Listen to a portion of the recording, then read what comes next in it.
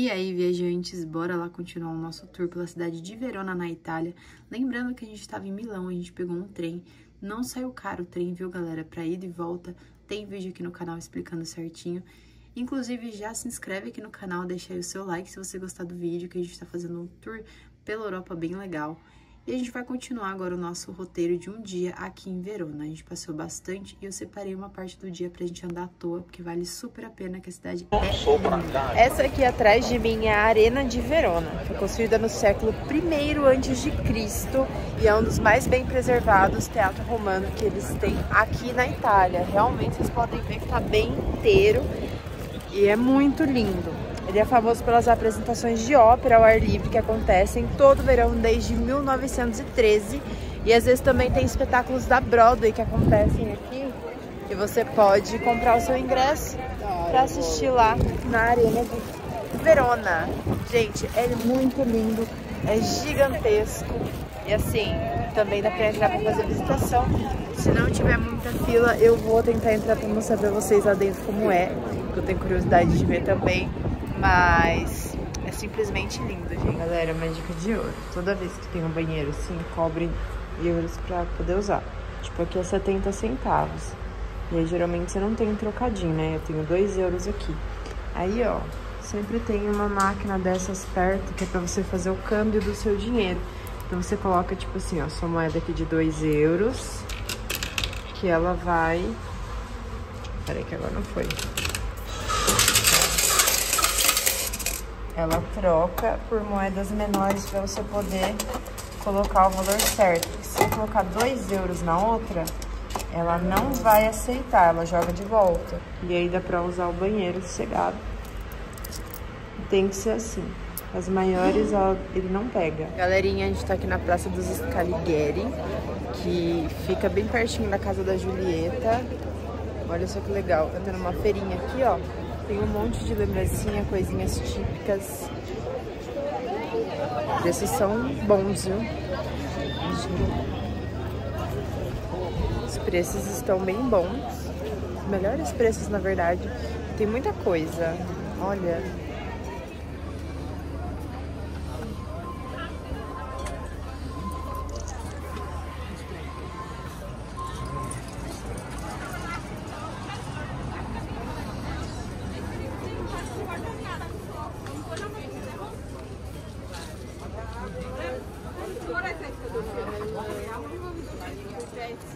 Essa é a Praça dei Signore. Aí tem o Arco da Costela. Ali.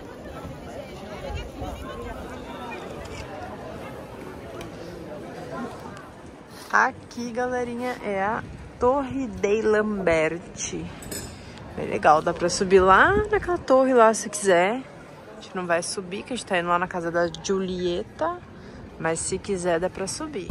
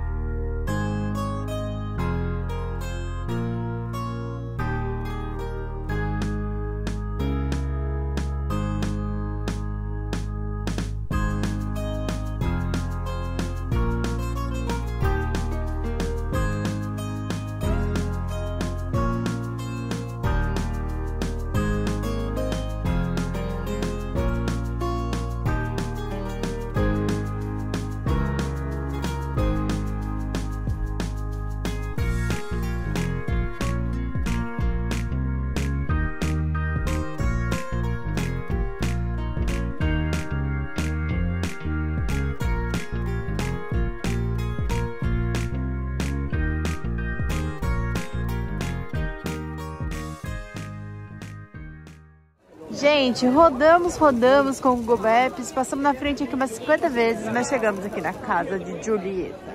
Então vamos lá. Deve estar tá bombando de gente aqui. Ah, tá, tem um negócio aqui, mas é finalmente é aqui. Chegamos. Ali é a sacada, aqui é a casa da Julieta e ali está a Julieta ali a sacada. Vamos tentar chegar lá na Julieta, gente. Mas é uma galera aqui, é uma filona. Aí diz que tem que pôr a mão no peito direito da Julieta pra dar sorte no amor. lá garantir nossa sorte. É uma sorte difícil de conseguir, viu? Não é muito simples, não. Tem que enfrentar uma fila. Galera, aqui do lado da casa da Julieta, tem uma entrada lá pela casa da Julieta mesmo. Tem esse lugar de bordados que se chama Casa de Julieta. Aí a gente entrou pra dar uma olhadinha e a moça fez pra mim um presente. Olha que lindo. Vou mostrar pra vocês mais certinho. Olha que lindo esse bordado. E é desse lugar aqui, ó, Casa de Julieta. Eu amei, gente.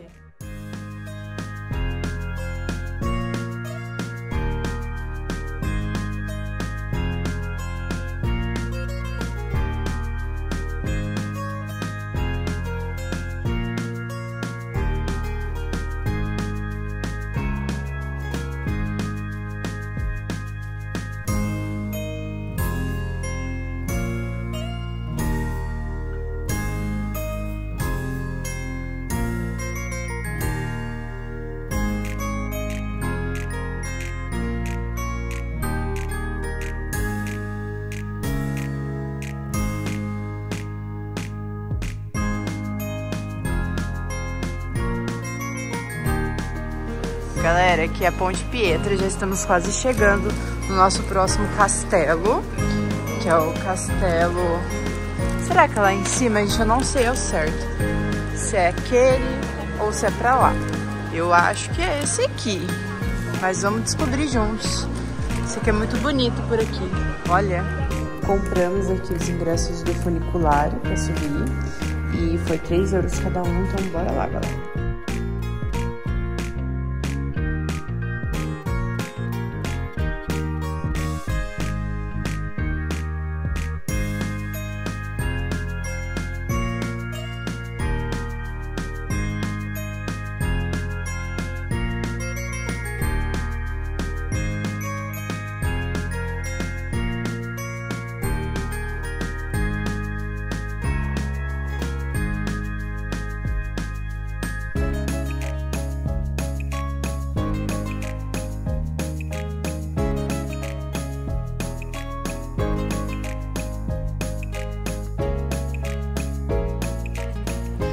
Chegamos aqui então no castelo de São Pietro e olha só a vista de Verona que tem daqui, gente.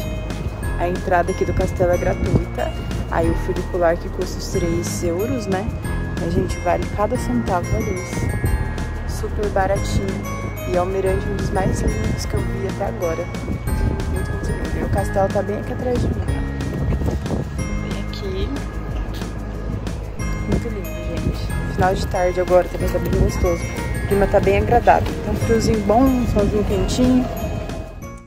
Esse então foi o nosso roteiro em Verona. A gente terminou aí no castelo de São Pietro, que é uma das vistas mais lindas que eu tive lá na Itália.